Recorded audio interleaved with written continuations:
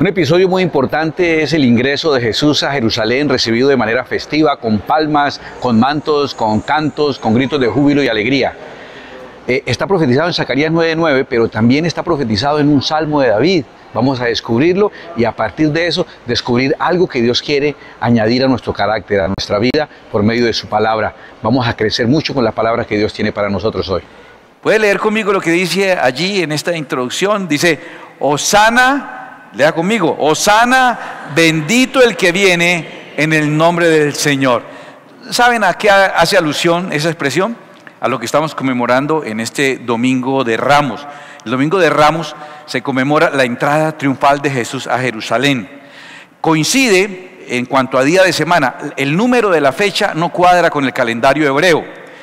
Domingo es para los hebreos primer día de la semana, para nosotros el último, ¿no? Uno, siente que la semana termina el domingo. No, para los judíos empieza el domingo, para uno empieza el lunes la semana, ellos empiezan el domingo en su mentalidad, hoy es el primer día de la semana. Y realmente hubo una semana de distancia entre la entrada triunfal de Jerusalén y a la siguiente primer día de la semana, para nosotros domingo, para ellos primer día, en que Jesús resucitó. Hubo una semana de primer día a primer día, para nosotros de domingo a domingo. Y en la mitad de la semana, crucificado el Señor, sacrificado, como hemos estudiado muchas veces y como está en el canal la explicación, es miércoles, sacrificado el Señor. Entonces, este primer día de la última semana, eh, llamada la última semana de Jesús, se conmemora que Jesús entró triunfalmente a Jerusalén y está descrito, por ejemplo, Marcos capítulo 11, versículos 7 al 10, dice, y trajeron el pollino a Jesús, un burrito, un hijo de asna, un, un burrito, y echaron sobre él sus mantos y se sentó sobre él. También muchos tendían sus mantos por el camino y otros cortaban ramas de los árboles y las tendían por el camino. Y los que iban delante y los que venían detrás daban voces diciendo, atención a lo que dicen, oh sana Bendito el que viene en el nombre del Señor. Bendito el reino de nuestro Padre David que viene, osana en las alturas. Esa entrada en que Jesús es recibido con fiesta. O sea, fue recibido como se recibe a un rey en un pueblo. La gente tiraba sus túnicas para que el burrito pasara sobre sus túnicas finas. ¿Sí? Ahí la ropa ahí, pero ahora eh, era la forma de rendir uno su dignidad. Mire, lo que yo soy está representado en mi estatus, ¿sí? En mi ropa, en mi elegante, ahí está tirada para que el burrito pase encima, porque trae al Rey de Reyes, al Señor de Señores, que viene montado ahí en ese burrito entrando como rey y señor, y gritaban los niños, Osana al hijo de David, Osana al que viene en nombre del Señor. Eso fue un tumulto, fue una gritería, fue todo un, evento, un, un momento de demasiada alegría para Jerusalén, la entrada del rey, entre otras cosas, porque muchos creían que iba a entrar a tomarse el poder. Iba a entrar a derrocar a los romanos y a establecerse como rey. Y cuando vieron que no era así, decidieron matarlo. ¿sí? Generan unas expectativas propias que no tienen nada que ver con el plan de Dios y después se frustran, ¿cierto? Eso fue lo que ocurrió. Estaban, pero en ese momento están llenos de gozo. ¿Está profetizado eso? La escritura ya había profetizado de la antigüedad, eh, eh, estaba en los libros de los profetas. Un profeta desde el año 500, antes de que esto ocurriera, 500 años, Zacarías, un profeta posexílico, después del exilio eh, en Babilonia, este profeta Zacarías, capítulo 9, versículo 9, todos los que estudiamos la Biblia sabemos que la entrada triunfal de Jesús fue profetizada por Zacarías. Mire cómo Zacarías lo dice, alégrate mucho, hija de Sión. O sea, la gente de, Sión. Da voces de júbilo, hija de Jerusalén, la gente de Jerusalén. Debe, debe estar muy alegres, muy alegres. Dice, he aquí tu rey vendrá a ti, justo y salvador, humilde y cabalgando sobre un asno, sobre un pollino hijo de asna. ¿Por qué era tan importante este detalle? Si tú lees en jueces 5 el cántico de Débora, después de la guerra de Débora y Barak, ella canta y habla de que los príncipes de Israel cabalgan sobre pollinos, cabalgan sobre hijos de asna. Era una manera como de marcar que eran príncipes, que era el heredero del reino. Los demás, caballos de guerra y carruajes. Y el que venía en el animal más fino de montura, en esa mulita, en ese hijo de asna, el que venía ahí, el príncipe. Hasta eso estaba profetizado. Entonces, aquí es algo muy bonito, pero nuevo no es. Esto es muy bonito. Siempre hemos visto cómo Zacarías profetizó que el príncipe, el heredero, entraría en Jerusalén a la hija de Sión y la gente daría voces de júbilo y alegres y él entraría humilde en su pollino. Ya estaba profetizado, listo. Pero mira que hay otra profecía, yo mismo no la conocía, no la había encontrado. Esta semana, buscando, escudriñando las escrituras, esta semana encuentro una profecía que me parece a mí, y ustedes la van a juzgar esta mañana, si es de pronto más exacta acerca de lo que es la entrada triunfal de Jesús a Jerusalén. Está en el Salmo 118. Está en el Salmo 118, permítame, le leo, versículo 24 al 26, dice, este es el día que hizo Jehová. Está refiriéndose a un día, a un episodio, a un evento especial, un día. David dice, este es el día que hizo Jehová. Dice, nos gozaremos y alegraremos en él. Paréntesis, aprendes el Salmo 118, 24. qué bonita forma de declarar la bendición para un día cuando te levantas, ¿cierto? Que te levantes y diga, este es el día que hizo Jehová. Nos gozaremos y alegraremos en él, ¿cierto? En lugar de estar frente al espejo diciendo, eres un campeón, tú puedes lograr lo que visualices, lo lograrás, cree en ti, eres un triunfador.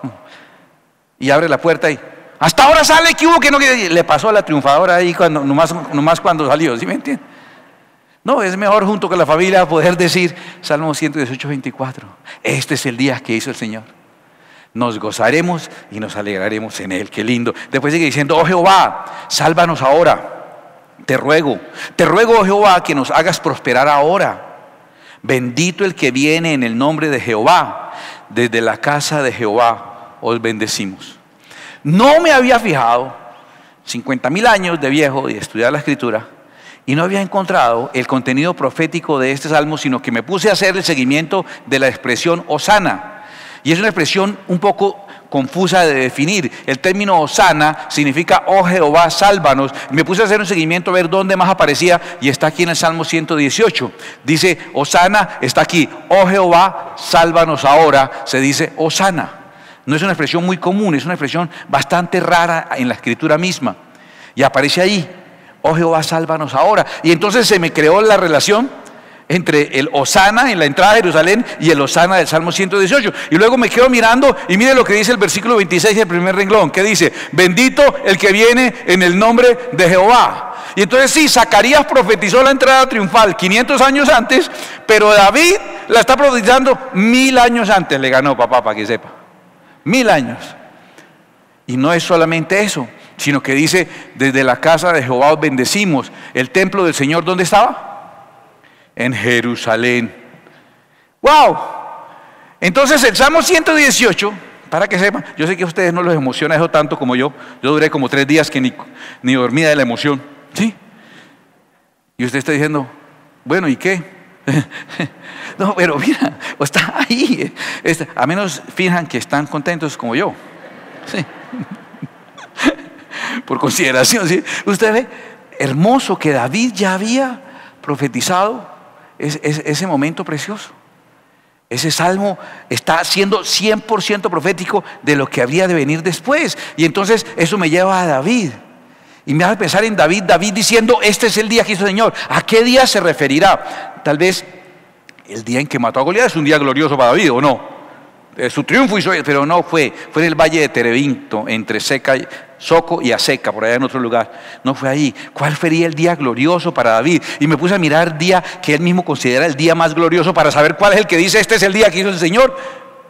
Y eso me llevó indudablemente al día que él llevó el arca a Jerusalén el más glorioso para él, en el que puso la cereza sobre el helado.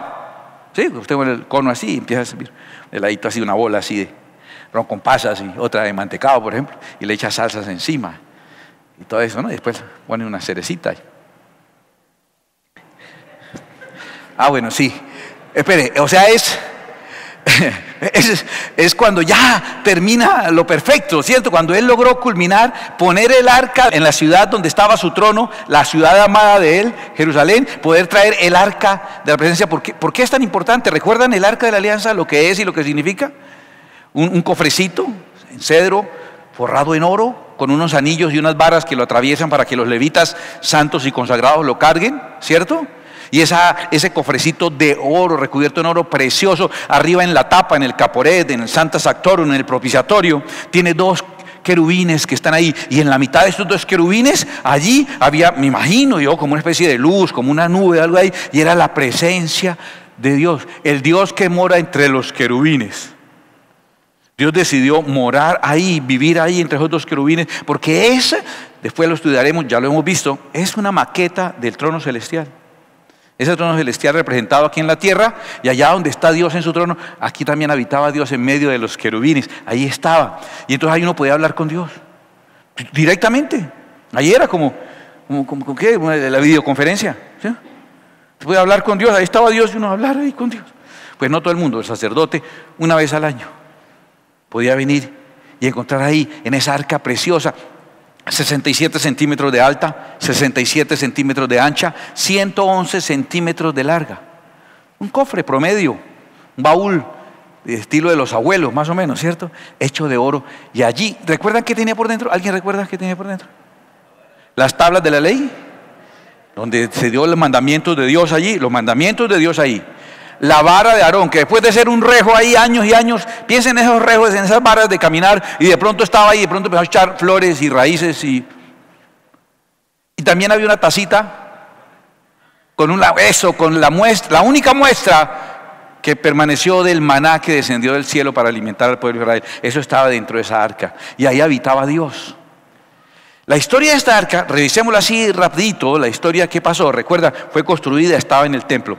En los tiempos del sacerdote Elí, como era un, bien un, sacerdote relajado, sobre todo con sus hijos, sus hijos eran unos perversos, se robaban la plata que, la gente daba, las ofrendas, los sacrificios, eh, eh, violaban a las señoras que venían a orar, y eran unos degenerados.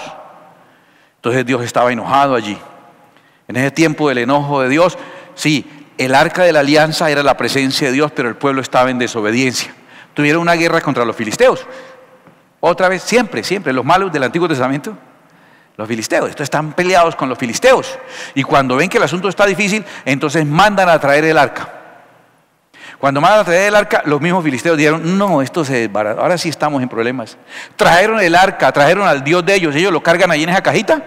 Y eso cuando lo sueltan, eso, eso hace todo, eso, no, no, no, ahora sí estamos. El, mismo, el mismo jefe de los filisteos les dijo, portados varonilmente. Les dijo, ahora sí vamos a saber quiénes somos porque trajeron al Dios de ellos. Pero la presencia de Dios cuando hay desobediencia trae tragedia. Presencia de Dios más desobediencia igual tragedia. Trajeron el arca. Oiga, escuche, trajeron el arca y no ganaron. Perdieron. Y por goleada. Los filisteos los mataron, los vencieron, los hicieron huir. Se robaron el arca. Se robaron a Dios. No, no, no hay problema. tenemos más. No. Cerraron a Dios. Y el mensajero que llegó a la noticia de Elí, que él era un sacerdote, estaba sentado en su silla, como buen sacerdote, estaba esperando las noticias, como buen sacerdote, había servido a Dios toda su vida, tenía, Elí en ese momento tenía ya 98 años de edad, como buen sacerdote era gordo, y estaba ahí, ahí. Buen sacerdote. Los que no son así, desconfíe de los que son así muy light. Y estaba el hombre ahí sentado. Y le llega el mensajero con la noticia y le dice, primero, Israel ha huido delante de sus enemigos. Qué vergüenza tan tremenda. Han matado a la mayoría de los guerreros. No. Entre los que mataron están sus hijos Ofni y Fines. Ahí estaba la esposa de Fines embarazada. Cuando le dijeron que le han matado al marido, se le vino el chino. La señora muriéndose, mira, murieron los hijos, ahora está muriéndose la señora, parió el hijo. Y antes de morir, lo último que hizo fue arruinar la vida al pelado. Le puse el nombre Icabot. Significa la gloria ha sido traspasada. ¿Te imaginas el bullying que le hicieron a ese niño en la escuela? Un niño en la escuela que se llamaba Gloria. No, y lo peor, se llamaba Gloria traspasada. Eso le tuvo que haber ido bien a ese muchacho toda la vida. Y aparte de que muere la señora da luz el niño, entonces le dicen al sacerdote, y eso no es nada se robaron el arca. Cuando le dijeron cerrar el arca, se fue de espalda del abuelo. Y como era gordo así, se fue para atrás, se esnucó. Qué cantidad de tragedias en un solo momento, una reacción en cadena, un dominó, ¿no? Una cosa, creo que incluso cayó encima del gato y lo mató. El consentido, el Michi. Michi. Mataron a Michi. No, mentiras, todo eso pasó. O sea, una tragedia tras otra. ¿Por qué? ¿Por qué? Dígame usted con la ecuación. ¿Por qué? Porque es que la presencia de Dios, más desobediencia, igual tragedia perdió el arca. Entonces el arca se la llevaron los filisteos, la tuvieron allá siete meses y se llevaron la presencia de Dios. Pero como presencia de Dios y ellos no obedecían a Dios, entonces la llevaron a la ciudad. Hoy tenemos el objeto más sagrado, el arma más poderosa. Y empezaron a salirle a ellos tumores en todos lados. Ratas por todas partes y tumores. Parecían los cositos de estrés que están de moda ahora, que son puras pepitas. Así se volvieron. Puras mazorcas unas guanábanas ahí. Entonces dijeron así todos llenos de pepitas. Dijeron, uy, no, esto está terrible. Entonces le dijeron a la siguiente ciudad que todavía no sabía, le dijeron, ya tuvimos bastante aquí el arca, ¿no? Si ustedes quieren tenerla un tiempito. sí, claro, claro, eso es un triunfo, eso es un estandarte de, victoria. Y se llevaron la, como una copa, se la llevaron para allá. Y cuando llegaron allá, ya de tumores y ratas. Y le dijeron a la siguiente ciudad, bueno, nosotros ya tuvimos el arca, ¿no? Les toca a ustedes y los de la siguiente ciudad dijeron, ¿sabe qué? Gracias. No, más bien no, deje, así. Y entonces ellos encartados, ¿qué hacemos ahora con eso? entonces la pusieron en un carruaje, en una carreta con unas vacas, eh, pusieron el arca y pusieron como indemnización, como una ofrenda pidiendo perdón, tumores, cada uno que tenía tumor le tocaba hacer el tumor del tamaño que tenía en oro y ponerlo ahí, esperando que al recibir esa ofrenda pues le fuera sanado el tumor, y ratas de oro para que los perdonaran. Y soltaron el arca y el, carruaje esa, la carreta, y la carreta se fue y avanzó hasta un lugar que se llamaba Bet Semes que ya era de Israel. Y los que estaban en BCM, cuando dijeron, mire lo que viene ahí, el arca de la alianza volvió, volvió solita, volvió solita ahí en ese carruaje con esas vacas. Así se transportaba el arca. ¿Cómo se tenía que transportar? Cuatro levitas consagrados y santificados cargaban el arca y la traían en ese carruaje y la trajeron. Y los de BCM llegaron a la carreta, se subieron. Mire, tumores de oro, ratas de oro, imagínense qué premio tan tremendo. Y unos dijeron, y venga, muestre a ver qué hay por dentro y abrieron el arca, las bestias esas. ¿Usted vio Indiana Jones y el arca perdida? ¿Qué pasó cuando la abrieron? Ahí tiene. Así o peor porque murieron 50 mil 70 hombres. 50 mil de los que llegaron allá a brujear, a mirar, se murió. El pueblo ahí para adelante calmado, se murieron todos los chismosos. No fue tan malo, ¿no? Que ocurriera eso. Es porque esta mañana pasó por ahí una persona, se cayó en la moto en la autopista, se raspó una rodilla y un trancón el macho, no por la raspada de la rodilla, sino por los 50 mil 70, ahí mirando y ahí pasan despacio y hacen el taco. y uno dice, uy, abrir el arca. Bueno, bueno, no, no. Lo estoy contando, los de Betsemes murieron un montón de gente porque abrieron el arca.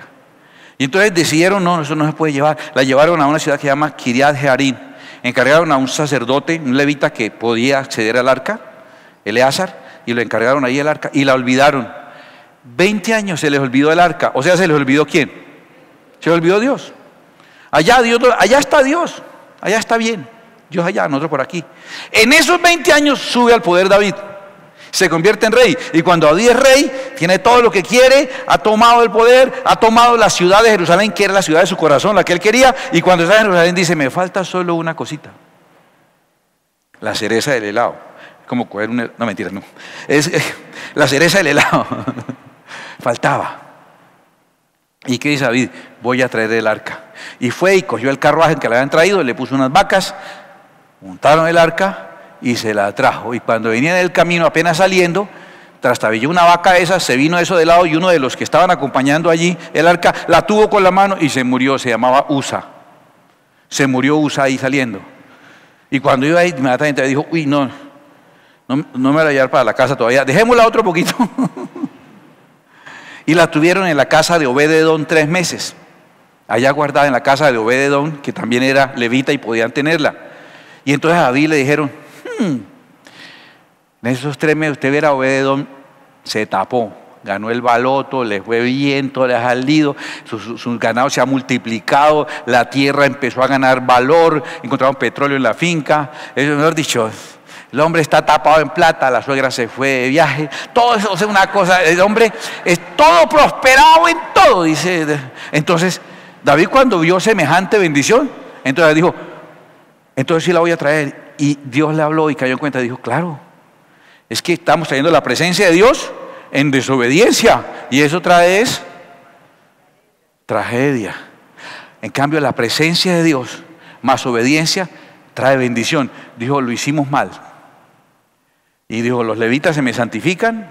¿Cuáles son levitas? Escojan cuatro que se santifican y van a llevar el arca como se debe llevar. Y por fin logró David, por fin, llevar el arca a su amada Jerusalén. Y ese, en mi opinión, humilde y generalmente equivocada, pero en mi opinión es el día más glorioso en la vida de David. Todo fue perfecto, ahora pudo llevar, ahora era el rey, tenía la ciudad de David y tenía el tabernáculo y en el tabernáculo tenía ahora el arca de la presencia de Dios. ¿Cómo lo describe? Incluso eh, el segundo libro de Samuel, capítulo 6, verso 14. Dice, y David danzaba con toda su fuerza delante de Jehová. O sea, delante del arca, danzaba con toda su fuerza. No es cualquier fuerza. O sea, David, escúcheme, fuerte, de pequeño fuerte. Y estaba danzando con toda su fuerza. Una locura.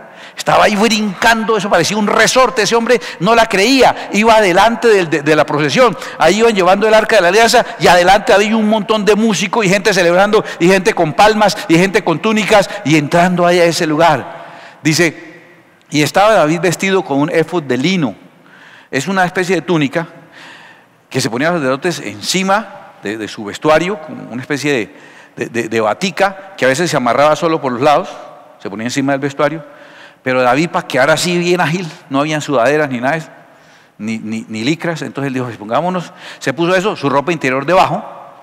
Ahora, ver la ropa interior de alguien era verle la, desnudez, según la escritura. No es que estaba así desnudo totalmente. Cuando dice la escritura que Pedro, el Señor llegó al Galilea y entonces él viendo que era el Señor, se despojó de la ropa y se echó al agua y salió. No es que salió al otro lado así todo en pelotico, ¡oh, buenas! No. Se refiere a que se quitó lo que usted haría se quita uno la ropa encima y se queda en ropa interior y se tira al agua. Se refiere aquí que se puso ese efod, pero no era el vestuario de un rey, estaba como muy ligero de ropas. Y con esa brincadera también fuera de eso. Dice, así David y toda la casa de Israel conducía el arca de Jehová con júbilo y sonido de trompeta. Crónicas narra el mismo día y lo narra de esta manera, 15:28. De esta manera llevaba todo Israel el arca del pacto de Jehová con júbilo y sonido de bocinas y trompetas y címbalos y al son de salterios y arpas. Día glorioso. Es mi opinión humilde y generalmente equivocada. Cuando David dice, este es el día que hizo Jehová, se está refiriendo a ese día. ¿Por qué digo que se está refiriendo a ese día? El Osana, la entrada triunfal, todo lo que ocurrió ahí, muy hermoso. La entrada de esa arca preciosa, esa arca que estaba siempre detrás de unas cortinas color púrpura y que no se podía entrar. Nadie podía pasar esas cortinas. Incluso es sumo sacerdote una vez al año. Y si no se había purificado adecuadamente, ¿qué pasaba? Se moría. Parece que la ropa tenía unas campanitas colgando para saber si está vivo. Y un lazo amarrado a una pata, a un pie, perdón. Para que si él entraba, ellos, y no suenan las campanitas, alaban a ver y él, no, ahí voy, estoy bien. Pero si no, mucho rato, entonces no sonan las campanitas, alaban el lazo y nada. Venga, tiremos entre todos el lazo que este murió. Y tocaba sacarlo así arrastrado. Así de delicado era entrar detrás de, esa, de esas cortinas púrpuras. Terrible, qué susto tan terrible entrar detrás de esas cortinas, porque era la presencia de Dios, eso daba mucho miedo. Primero había un sacrificio en que usted llevaba el mejor corderito que tenía y lo mataban ahí, lo quemaban. El ambiente era de miedo, era tiempo de juicio y entrar y el que entraba y podía morir. Uy, eso era tremendo. Inclusive cuando la ley fue dada en el monte de Sión, esa ley que estaba ahora dentro del arca, esas tablas de la ley, eso allá había unas nubes y truenos y relámpagos y nadie podía acercarse al monte. Y si un animalito se subía al monte, tocaba matarlo a piedra o traspasarlo con una flecha. Todo era así como muy dramático y, y muy terrible. Esa arca estaba ahí detrás de esa cortina. Pero esa arca, escúcheme, a ver, pongan atención a esto como todo lo que está escrito en la escritura antes de Cristo, en el Antiguo Testamento o la Torah, como lo quiera llamar, tiene una razón de ser. Escuche. todo fue hecho, dice la Escritura, por Él, hablando de Cristo, que todo fue hecho por Él. No escuché. Todo fue hecho por Él y para Él. Mira la esencia de las cosas. Todo lo que fue hecho fue hecho para glorificar a Cristo. Y si algo no glorifica a Cristo, no sirve para nada. No sé por qué me acuerdo siempre este, en este pedazo, cuando estuve andando por ahí desordenadito, como alejándome de las cosas de Dios, como andando por ahí desordenadito un tiempo, me acuerdo llegar por ahí con tragos encima, siendo un adolescente, y estar ahí en mi cama y sentir la mano de mi mamá orando por mí a medianoche o a la madrugada, cuando me pone su mano encima y dice mi madre, Señor, si mi hijo no te sirve a ti, no me sirve a mí. Y se fue. o sea, me puso el moño de para, o sea, me mandó pues. Ah, así de áspero. Pero tiene sentido, si algo no glorifica a Cristo, no sirve, no tiene sentido, es pasajero, se va a acabar pronto, pasará rápido, no tiene propósito. En la Torah, cada elemento sagrado, imagínense, es como una flecha, imagínense aquí una flecha señalando a Cristo con, luces de neón prendiendo y apagando. Y dice, Cristo, y la flecha señala a Cristo. Y entonces como Cristo no ha llegado, entonces Dios les dice, pendientes de la señal, no, estén pendientes, respeten la señal, estén pendientes de la señal. El que no respete la señal, cojan a piedra. Todo el mundo pendiente de la señal, ¿está claro? No vayan a perder la señal, porque la señal mostraba a Cristo. Y cuando vino Cristo, estaban tan embobados con la señal que no vieron a Cristo. embobados con la flecha que mostraba para allá. Y decía, Cristo, Cristo, Cristo, embobados con la flecha mirando, uy, tan bonito, vea. Adorando la señal, limpiando la señal, puliendo la señal, y pendiente que todos respetaran la señal y el que no lo cogemos a piedra, la señal, la señal. Pero la señal cumplía un propósito como toda señal. El propósito era, ¿qué estaba señalando? A Cristo Jesús. Pero ellos creyeron que lo que había que adorar era la señal. Y cuando Cristo vino le dijeron, venga, adore la señal, venga, limpia la señal, venga, mira la señal. Y Cristo dijo, no, espere, espere. Escudriñad la escritura porque a vosotros os parece que en ella tenéis la vida eterna. Aprended la Torá porque a ustedes les parece que tienen la vida eterna, pero ellas son las que dan testimonio de mí. La Torá es una señal mostrándome a mí. Dejen de estar adorando la Torah y matando a los que no la cumplen y cumplen el propósito que es que ella da testimonio de mí. No, como Cristo no quiso ir a adorar allá la flecha, entonces lo mataron. La flecha que señalaba a Cristo, no creyeron a Cristo. Así es todos los utensilios sagrados, el tabernáculo, si no representa a Cristo, no sirve. Si nuestra reunión no glorifica a Cristo, no sirve. Todo lo que has logrado en la vida, espere y verás cómo todo se diluye y se pasa. Si todo lo que tú haces y tienes no glorifica a Cristo, va a ser pasajero y va a ser para ti un tormento. En el tabernáculo había una parte como externa donde estaba el altar donde se sacrificaban los animales. Las personas traían los animalitos, mataban el cordero, sacaban las partes que era, lo quemaban. Luego más adelante estaba una fuente de bronce donde el sacerdote se lavaba. Para poder entrar a la siguiente, a la siguiente zona, ¿recuerdan cómo se llama el siguiente espacio? Lugar santo. No pueden entrar sino los levitas y el sacerdote. En ese lugar santo estaba la menorá, el candelabro de siete brazos, la mesa con los panes de la proposición y un altar donde se quemaba el incienso para poder entrar al tercer nivel. Y cada uno de esos elementos, usted sepa esto para siempre y cuando se olviden de mí hasta de mi nombre, que no se olviden que alguien les dijo, lo que no señala a Cristo no sirve. El candelabro señala a Cristo. La mesa señala a Cristo. El incienso, todo señala a Cristo. Y entonces después de que ofreciera el incienso podía entrar al lugar santísimo. Al lugar santísimo. ¿Y qué estaba en el lugar santísimo? La cortina que separaba y detrás el arca de la alianza. El arca de la alianza. Solo podía entrar. Ahí estaba Dios. Dios, dice Dios, que mora en medio de los querubines. Ahí estaba Dios, Dios estaba ahí, habitaba en el Dios. Si el arca de la alianza, por muy linda que sea, no señala a Cristo, no sirve. No cumplió su propósito. ¿Sabe qué es esa señal, esa, esa arca donde habitaba Dios? Pues según la escritura Colosenses 2.9 dice, porque en Él, hablando de Cristo, habita corporalmente toda la plenitud de la deidad. ¿A quién representa el arca? A Cristo, donde habitaba Dios. Ah, pero tenía los mandamientos de Dios. Cristo es la palabra de Dios hecha hombre, el verbo de Dios hecho carne. Los mandamientos de Dios vueltos persona. Ah, pero estaba el maná. Cristo dijo, yo soy el pan que descendió del cielo. ¿Qué es el pan que descendió del cielo? Maná. Cristo es esa vara que después de muerta vuelve a la vida. Cristo es la resurrección y la vida. Cada cosa representa a Cristo Jesús. incluso en la muerte de Cristo, ¿recuerdan qué pasó con, esa, con ese telón, con, con esa cortina púrpura? Se rasgó de arriba para abajo. Se rompió. De tal manera que ahora ya no había esa separación. De tal manera que ahora quedó expuesta el arca donde uno podía hablar con Dios, la videollamada. Ahí donde uno podía hacer la videollamada. Ahora se podía entrar allá. Y la escritura lo cuenta de una manera preciosa. Dice Hebreos capítulo 10, verso 19. Dice, así que hermanos, teniendo libertad para entrar en el lugar santísimo, porque la cortina se rompió, por la sangre de Jesucristo, o sea, por su muerte, por el camino nuevo y vivo que Él nos abrió a través del velo, esto es su carne.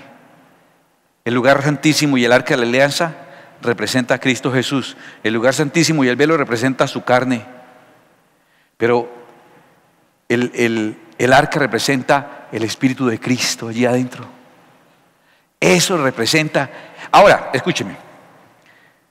Unamos los cabos un momentito ya finalizando, unamos los diferentes cabos y lleguemos a alguna conclusión. Quiere decir entonces, escúcheme, que el día, este es el día que hizo Jehová, nos daremos golpes de pecho y lameremos ladrillo, nos atormentaremos, haremos sacrificios, subiremos de rodillas, no sé, sí. Ese es el día que hizo el Señor, que hizo Jehová. Entonces, como consecuencia de eso, nos gozaremos y nos alegraremos en Él. Y luego dice, sálvanos, Osana. Y luego dice, bendito el que viene en nombre del Señor. Luego ese Salmo 118 está profetizando, un paralelo entre el día glorioso en que entró el arca de la alianza a Jerusalén mil años antes de Cristo, en el tiempo de David, está profetizando el día en que el arca verdadera, que es Cristo Jesús, donde habita Dios, donde Él es su palabra, donde Él es el pan que descendió del cielo, donde Él es la resurrección y la vida, cuando Él entraría a Jerusalén y habría fiesta y tirarían sus mantos y tirarían sus ramas y recibirían semejante regocijo. Por eso hubo tantísima alegría ese día. Por eso los niños gritaban, saltaban, por eso la gente estaba tan emocionada que los religiosos decían, cuidado con lo que están diciendo, están diciendo que él es el hijo de David. Si dicen que es el hijo de David y viene sobre un pollino, están diciendo que es el heredero. Y si está entrando a la capital, quiere decir que se va a tomar el reino. Cuidado que los romanos vienen y nos matan porque el rey es el César. Y ellos decían, no, bendito el que viene en nombre del Señor. Ese día vincula la entrada triunfal de Cristo Jesús, el día que conmemoramos hoy, con la vez que el día en que David pudo llevar el arca a Jerusalén. Está tan cercano proféticamente, y yo no lo había descubierto en tantos años de estudiar la Biblia, hasta ahora. Está tan cercano que ese día, según Mateo 21.9, dice, y la gente que iba adelante y la que iba detrás aclamaba diciendo, Osana al hijo de David, nos está diciendo, relacione esto con David. La entrada triunfal, relacionela con David. Bendito el que viene en el nombre del Señor, Osana en las alturas. Busque Osana, busque a David. Y eso hice. Y encontré esa relación maravillosa que hay con el carácter de David. Bueno, yo quiero hacerle una pregunta en serio. Yo tengo problemas, muchos, no, no, pero eh, uno en particular le voy a hablar esa descripción que la Biblia da de David, ¿cómo es? ¿Cómo dice la Biblia de David? ¿Que era qué? Un hombre conforme al corazón de Dios. Me asusta, me pone a temblar. Un hombre conforme al corazón de Dios. Y yo leo la historia de David, porque entonces, Señor, si le van a poner ese nombre a David, por favor disimúlele algunas cositas. No lo boletee tan feo. ¿Cierto? Porque yo veo a David y yo veo un hombre conforme al corazón mío. Pero conforme al corazón de Dios. ¿Recuerdas que fue por ahí embarazó una vecina y mandó matar al vecino? complicado, ¿cierto? Bueno, no soy quien para juzgar. Pero ¿qué tal si la expresión significa otra cosa? Significa que hay algo en el corazón de David que coincide con el corazón de Dios. No todo, pero hay algo. Miremos algo de un rasgo del corazón de David, pero por favor ubíquese. ¿Cómo eran los actos espirituales religiosos en el tiempo antes de David? ¿Cómo era? ¿Fiestas? Era miedo de muerte, juicio, castigo, temor. Parecido como la religiosidad que teníamos antes, ¿no? Cantos gregorianos, vestidos así con túnicas de monje, parece de ultratumba, gárgolas en las esquinas de los templos. Más o menos así. Y aparece un hombre con un, con un, corazón raro. Mire el Salmos capítulo 100, versículo 1. Mira este David y piense por favor del entorno religioso, dramático de muerte, casi totalmente oscuro. Aparece un David diciendo, cantad alegres a Dios, habitantes de toda la tierra. Servid a Jehová con alegría. O sea, si no lo hace con alegría, más bien no sirva. Venid ante su presencia con regocijo. O sea, si no viene con regocijo, más bien no venga, decía David. Impresionante. Ah, y como si fuera poco, en el Salmo 68.3 dice, mas los justos se lamentarán y llorarán y lamerán de arillo y se, se azotarán. No, dice, mas los justos se alegrarán y se gozarán delante de Dios y saltarán de alegría. Mire, mire, que para la época es muy raro lo que David está diciendo. Y no solamente eso, también hay salmos completos. El 95, 1 y 3 dice, venid, aclamemos alegremente a Jehová. Alegremente. Cantemos con júbilo a la roca de nuestra salvación. Lleguemos ante su presencia con alabanza. Aclamémosle con cánticos. Porque Jehová es Dios grande y Rey grande sobre todos los dioses. Él está diciendo, no, no es tiempo de lamentarnos, es tiempo de disfrutar. Y dice en el Salmo 5, pero alégrense todos los que en ti confían, den voces de júbilo para siempre, porque tú los defiendes. En ti se regocijen los que aman tu nombre, porque tú, oh Jehová, bendecirás al justo, como con un escudo lo rodearás de tu favor. Escúcheme. Buscando versículos de los salmos que hablaran de alegrarse, de regocijo, de gozo, de alegría, ese es el trabajo más fácil que hay. Ponga su concordancia, alegría, regocijo, gozo y ponga a buscar en los salmos, casi todos hablan de alegrarse. Si yo tuviera que resumir la filosofía, el estilo de vida de David con un versículo, sería difícil, pero como ese es mi trabajo, hacer eso. Yo encontré este y usted me dirá si está de acuerdo conmigo o no. El Salmo 37.4 parece resumir todo el concepto de vida de David. Dice, deleítate a sí mismo en Jehová y Él te concederá las peticiones de tu corazón. Me parece fantástico, ¿por qué? Porque es que yo voy a, lo que hago para Dios, lo voy a disfrutar. No lo voy a sufrir, lo voy a disfrutar. Lo voy a disfrutar en serio. Y como lo disfruto, Dios me concede lo que anhelo. Y como me concede lo que anhelo, entonces yo lo disfruto. ¿Quién no disfruta cuando le dan lo que quiere? Ah, bueno. Entonces, y como lo disfruto, me concede lo que anhelo. Y como me concede lo que anhelo, yo lo disfruto. Y como lo disfruto, y empieza una espiral hacia arriba que no tiene fin, sino en la perfección de la eternidad. ¿Y dónde empieza el secreto? Cuando Él dice, tengo que disfrutar lo que hago para Dios. Y lo disfrutó al extremo. David no estaba con tintas tibias. Disfrutando y disfrutando. Acuerda que le dije que iba delante del arca Iba en semejante alboroto ese David, con el pueblo y la gente del pueblo, venga y saltaba y brincaba. Eso era una cosa impresionante. Cuando por fin, en el día que hizo Jehová, nos alegraremos y nos gozaremos en él. Saltando para arriba, abajo. ¿Cuándo llegó a la casa? Ocurre. Suele ocurrir. La esposa que él tenía era princesa desde que nació. O sea, ella nació en palacio ella era de clase, high class. Ella de verdad tenía alcurnia.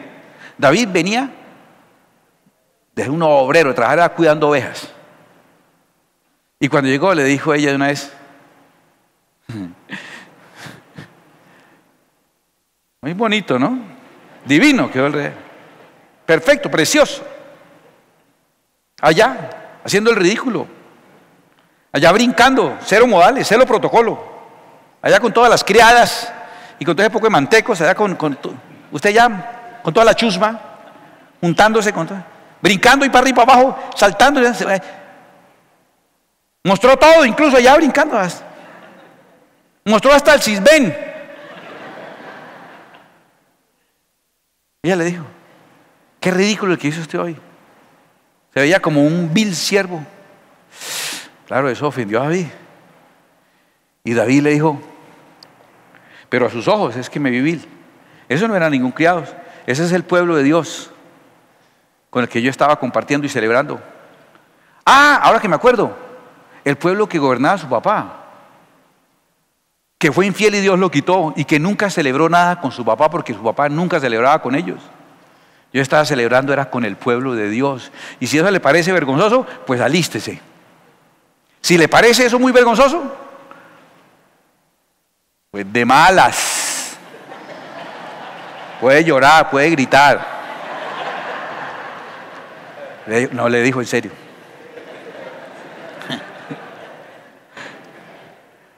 Porque lo va a seguir haciendo.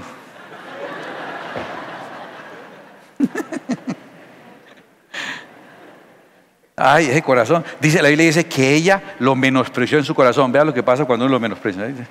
Ella lo menospreció en su corazón. ¿Sabes cómo termina ahí esa narración? Dice que Mical, o Milca, como le llaman algunos, no tuvo hijos hasta su muerte, o sea, murió sin tener hijos. Y algunos predicadores dicen, claro, Dios la castigó volviéndola estéril. Ahí no dice eso. Ahí dice que la volvió estéril. La Biblia cuando es estéril dice estéril. O si no dice el Señor cerró su matriz, ¿cierto? Dice así. Ahí dice eso. Dice que no tuvo hijos hasta su muerte.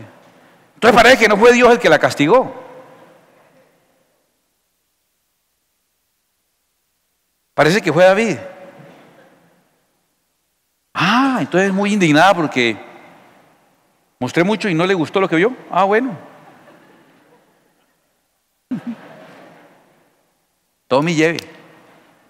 Parece que el que le costó los servicios a esa señora fue el que quedó indignado con ella, porque él celebraba, porque él había aprendido que la relación con Dios era una relación de deleite.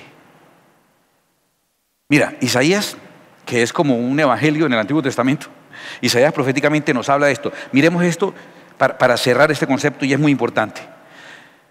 Dios mismo está hablando lo que hay en su corazón. Dios mismo le está diciendo a la gente religiosa, dice, vuestras fiestas solemnes, vuestras lunas nuevas, vuestros días de reposo, le dijo, las tiene aborrecida mi alma, me son gravosas, hastiado estoy de soportarlas. ¿Por qué Dios la veía como algo fastidioso? ¿Por qué el Dios recíproco que se acerca a los que se acercan, que honra a los que lo honran? ¿Por qué Dios veía sus actos religiosos como fastidiosos? ¿Por qué Dios recíproco haría eso? Piense. Porque la gente lo veía como algo fastidioso también. En ese tiempo, en los antiguos los tiempos de Isaías, la gente decía, uy, culto otra vez. Y toca ir. Y hoy domingo. Y el devocional, yo no me he acordado del devocional, y se me olvidó el devocional, toca ir leer. Voy a orar un rato el. Ya hice el devocional, cumplí. Así lo veía la gente en ese tiempo. Así lo veía. Toca ir otra vez. Y otro campamento y dormir incómodo. Y otro retiro y otra clase. Sin no, no, no. Así fastidio.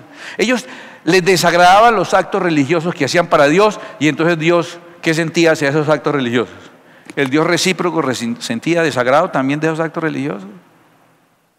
Eran puros actos religiosos. Incluso en Isaías, Dios, Dios mismo hablando a través del profeta, dice, el, más difícil de todos los actos, el, ayuno, ¿no? Una vigilia vaya y venga, desde que estén buenas las enseñanzas y la música y el, refrigerio y la conversación, le amanece uno y, uy, ya amaneció, ¿sí? Un ayuno. Ahí se siente minuto tras minuto. No, Dios mío, ya después de estos montón de horas que ha ayunado, ¿cuánto van? Diez minutos. Uy, Señor.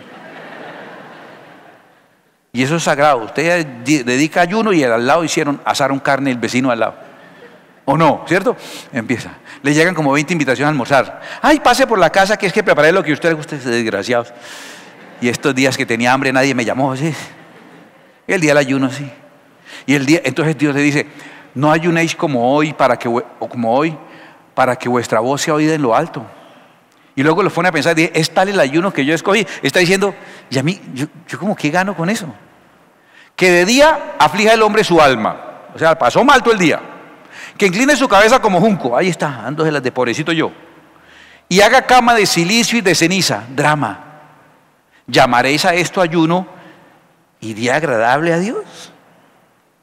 Y luego en el versículo 13 y 14 dice, si retrajeres del día de reposo tu pie, de hacer tu voluntad en mi día santo, y lo llamareis, o sea, ¿quién es el que debe decidir cómo llamarlo? ¿Dios? Yo. Yo decido qué nombre le voy a dar a esa actividad. Dice, usted llámelo delicia, santo, glorioso de Jehová. Y lo venerares, no andando en tus propios caminos, ni buscando tu voluntad, ni hablando tus propias palabras. Entonces te deleitarás en Jehová. Si usted lo llama deleite, con el tiempo, eso que usted llamó deleite, va a terminar usted deleitándolo.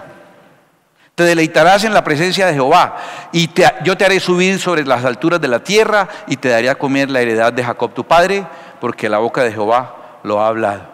Mira, déjeme resumir esta profecía. Si usted decide llamar a lo que hace para Dios una delicia, usted terminará deleitándose en Dios. ¿Y qué pasa cuando uno se deleita en Dios? Él concede las peticiones del corazón. ¿Y qué pasa cuando uno le concede las peticiones del corazón? Uno se deleita. ¿Y qué pasa cuando uno se deleita? Le concede la petición del corazón. Y se deleita y le concede, se deleita, le concede. Y es un crecimiento espiritual imparable. Y esa persona pa, pa, pa, para arriba. Y usted nomás lo ve. ¡Wow! ¿Cómo creció? ¿Hasta dónde llegó? Yo creo que lo que realmente la escritura dice es que David era un hombre que entendía el corazón de Dios. Dice Lucas Márquez en una de sus preciosas conferencias, dice, todos queremos estar donde somos celebrados. No donde somos soportados o donde somos lamentados, ¿no? ¿Qué tal donde es lamentado? Ah, ya llegó. O donde es soportado. Siéntese ahí. Sigue y se sienta por ahí paradito donde no estorbe. Todos estamos donde somos celebrados. ¿Quiere que la presencia de Dios esté? ¿Quiere o no quiere? Quiere traer el arca a Jerusalén, gócesela. Llame lo que hace para Dios, llámelo. Delicia. Y eso depende exclusivamente de nosotros. El miércoles estudiamos cómo David mismo logró nunca volver a caer en ese pecado, porque el pecado era agradable para la carne, con la muerte de sus hijos y todo lo que pasó, en su mente él logró llamar al pecado, llamarlo desagradable, horrible, no me gusta. Ah, pero realmente el pecado es delicioso y gusta. Sí, sí, pero yo decidí llamarlo feo. ¿Y usted por qué lo va a llamar feo? Porque goza uno unos minutos y sufre unos años. Mal negocio. Horrible el pecado. Horrible, qué cosa tan horrible. Qué cosa tan horrible. Diría mi amigo Raúl, ¿cierto? Qué cosa más horrible. ¿sí? Él decidió al pecado llamarlo desagradable. Pero en el Salmo 118 nos enseña otra cosa que es importante, que te hace no solo victorioso sobre el pecado, sino una persona que crece y crece y crece delante de Dios y llega a tener un corazón paralelo y acorde al corazón de Dios. Cuando lo que es para Dios tú lo llamas delicia. No lo llamas obligación o castigo, sino delicia. Cuando lo que tienes por Dios dices, qué rico, qué delicioso, mi mejor momento, mi mejor ocasión. Mire, decía estos días que algo hicieron bien mis papás, a pesar de no tener mucho estudio y ser muy pobres. Algo hicieron bien. Y yo creo que una cosa que hicieron bien es que ellos, inclusive también seguro sus papás o sus abuelos, relacionaban la iglesia o la ida, así sea la misa, como el momento más importante de la semana, ¿sí?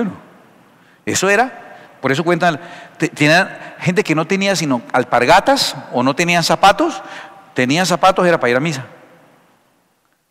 Un día uno de esos obreros se puso los zapatos de material para ir a misa. Y entró a la iglesia, estuvo en misa y salió y los amarraba a los cordones, se los echaba al hombro para no dañarlos. Y siguió a pie, se paró sobre un vidrio y se cortó. Y lo único que dijo fue, uy, qué bueno que no te ha puesto los zapatos. Porque lo importante ocurría ahí. Cuando éramos niños, uno estrenaba en Navidad y si acaso en el cumpleaños, ¿cierto? Que le podían comprar una mudita de ropa. Uno la estrenaba tres veces realmente. La primera vez cuando se la medían en el almacén, ¿cierto? La primera vez que la medían para que tenían que medirla primero para fijarse bien que no le fuera a quedar buena. Sí, sí, lo que miraba que le quedara grande, ¿cierto? A uno le compraban la ropa pendientes de que no le quedara buena, porque quedaba buena en una semana ya no le quedaba buena. Entonces a uno le compraban la ropa, se la medían era para que le quedara grande, ¿sí? Primera estrenada. Segunda, en la casa el día de cumpleaños, que comieron algo, oraron por uno, o le cantaron el Happy Birthday to y entonces le ponían la ropita. Y la tercera, la más importante, que sí se la dejaban usar todo el día, era cuando? En la iglesia. Y así crecimos siendo niños, viendo que si había algo bueno, sería en la iglesia. Y a la salida, había un señor que vendía en un carrito de heladitos, y ahí con esfuerzo mis padres compraron una paletica, que nos tocaba, nos tocaba de chupadita los seis, Todavía hay.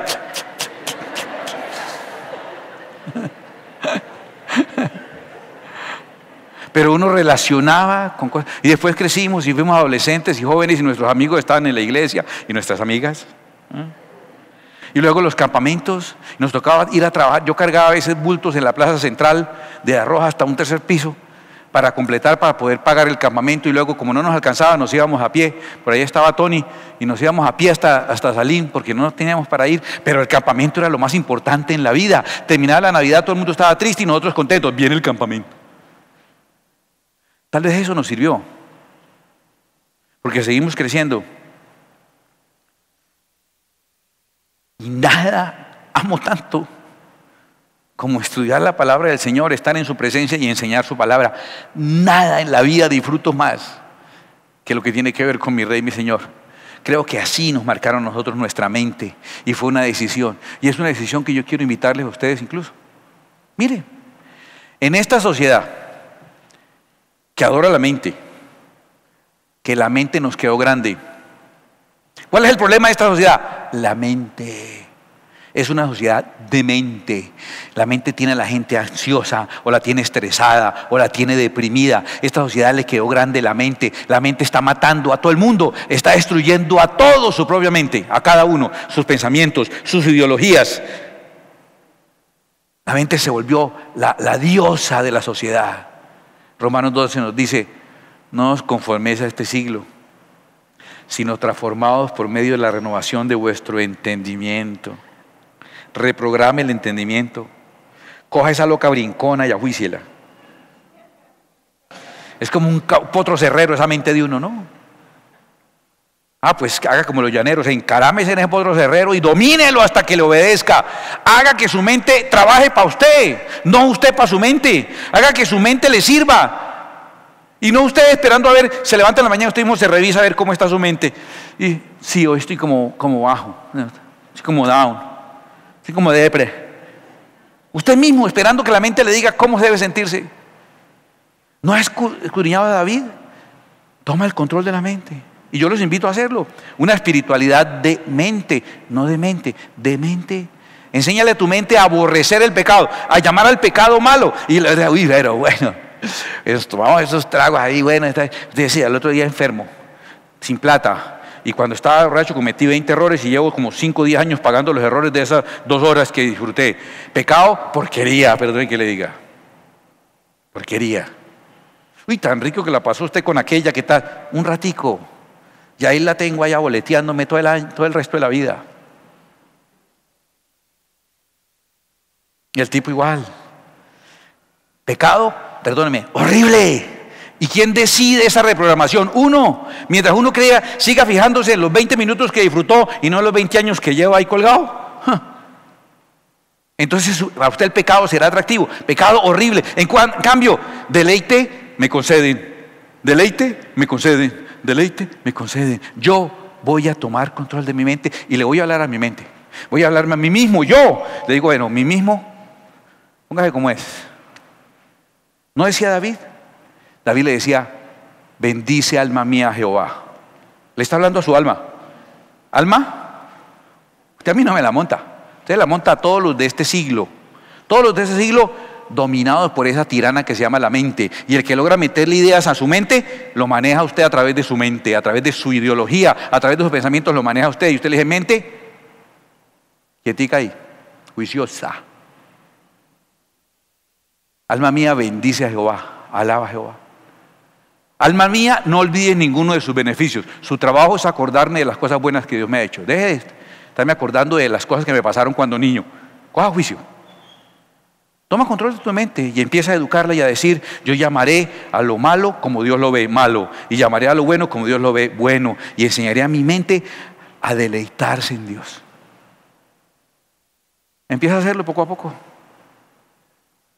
Que cada día que pase, súmale a la reunión el momento en que disfrutas. Vas, te sugiero, tú tienes mejores ideas que yo. Cumpliste años, dijo, una cosa sencillita en la casa. La torta va a ser después de que vayamos a la iglesia. Vamos y partimos la torta, aunque fue tres días después, o tres días antes, o cuatro días después, no importa. La torta es rica toda hora, cualquier día. una torta así bien rica, así, con chocolatico y chariquipe. Entonces, la torta es rica cualquier día. Que vamos a ver tal cosa, el día del Señor, el devocional, el momento delicioso. ¿Sabes por qué los devocionales en familia no funcionan? Porque no son devocionales, son devoracionales. Se devora unos a otros. Dependiendo a quién le toque el, devoracional, aprovecha para montársela a los otros, ¿no? Señor, bendiga a estos muchachos desobedientes que no colaboran en la casa, que no tienen la cama y no lavan las platas. Y cuando le toca al hijo, entonces, Señor, ayúdales a entender a nuestros padres que también somos jóvenes y podamos disfrutarla. ¿sí? Cada uno ahí disimulando. Son regaños con los ojos cerrados. ¿sí? Y que me tengan y que lo atienden ese mal genio que tienen a todas horas. ¿sí? Es regaño con los ojos cerrados. ¿A quién le va a gustar ese devocional? Que sea el momento grato. Ten un corazón como el de Dios. Dios quiere ser celebrado. Celebra al Señor. Enseña tu mente a llamar malo el pecado y te va fácil vender sobre el pecado, vencer sobre el pecado porque no te agradará. Cuando venga uno, ah, venga con bobadas que yo sé. ¿Cuál es la trampa? Ese es un gusanito colgado de un anzuelo. yo sé cuál es la trampa. Un pedacito de queso, pero yo, usted no ve el fierro que está ahí listo para darme en la cabeza cuando coja el quesito. Llévese ese quesito para otro lado. Bien pueda, siga, Señor. Y cuando su mente usted la condiciona a deleitarse en Dios, cada momento de leer la palabra, Dios escribió eso para mí. Uy, Dios para mí, Dios. Usted piensa en mí, Señor, yo le importo. Tiene planes conmigo. Puedo cantarle, puedo disfrutar, puedo bailar, puedo ir a la iglesia, puedo disfrutar. Dele orden a su alma. Empiece a hacer una reprogramación mental. ¿Por qué rechazamos las cosas de Dios? Escúcheme esto tan curioso. Los que no somos así mucho de gimnasio, nos parece terrible. Y al otro día estamos que nos morimos. Uno sale de gimnasio después de una sesión agotadora, no sabe si llamar un Uber o un AME. Sí, está uno vuelto nada.